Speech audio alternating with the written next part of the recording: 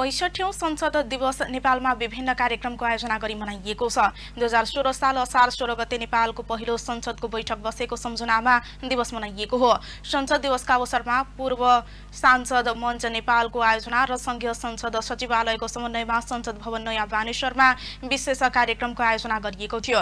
कार्यक्रममा सभामुख देवराज घिमिरेले राजनीति प्रतिस्पर्धा कार्यान्वयन गर्ने थलो संसद भएकाले जननिर्वाचित प्रतिनिधिहरूले सोही अनुसार भूमिका खेल्नुपर्ने बताउनुभयो।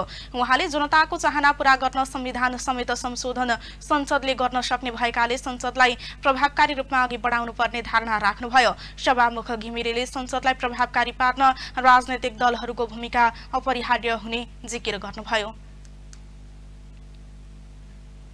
संसदले अहिलेको हाम्रो संविधान अनुसार संविधानलाई पनि संशोधन गर्नुपर्छ भने गर्न सक्छ जसको बारेमा केही विचारहरू यो ऐतिहासिक पैँसठी वर्ष अगाडिको घटनालाई त्यसका अभावलाई पूर्ति गर्दै जनता र राष्ट्रको चाहना पुरा गर्नको लागि आयोजना गरेको ठाउँमा पनि केही कुराहरू आए। यसमा आफ्ना आफ्ना विश्लेषणहरू सोचहरू र योजनाहरू हुन सक्छन्। तर मलाई लाग्छ संसद प्रभावकारी हुनुपर्छ यसमा कुनै बहस र विवादको विषय छैन। प्रभावकारी कति हुँदाखेरि हुनसक्छ यसको माप पनि यति हुनुपर्छ भन्ने सायद। कार्यक्रममा नेकपा एकीकृत समाजवादीका अध्यक्ष माधव कुमार नेपालले सदनमा प्राप्त अनुभवलाई साटासाट गर्दै अघि बढ्नुपर्ने बताउनुभयो। उहाँले देशको मान र मर्यादामाथि उठाउनका लागि सांसदहरूले पनि प्रभावकारी भूमिका निर्वाह गर्नुपर्ने जिकिर गर्नुभयो।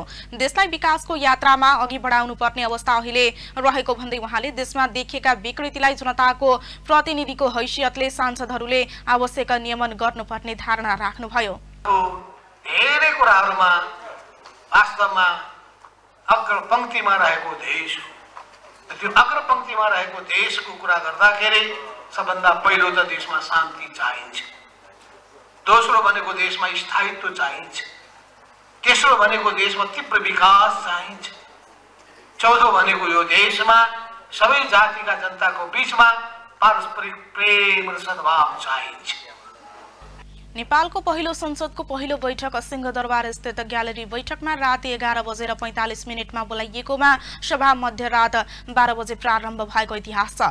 संघीय संसद अन्तर्गत प्रतिनिधि सभामा दुई सय पचहत्तर सदस्य प्रत्यक्ष र समानुपातिक निर्वाचन प्रणालीबाट आउँछन् भने राष्ट्रिय सभामा निर्वाचित र राष्ट्रपतिबाट मनोनित गरी उन्साठी सदस्य रहने व्यवस्था छ।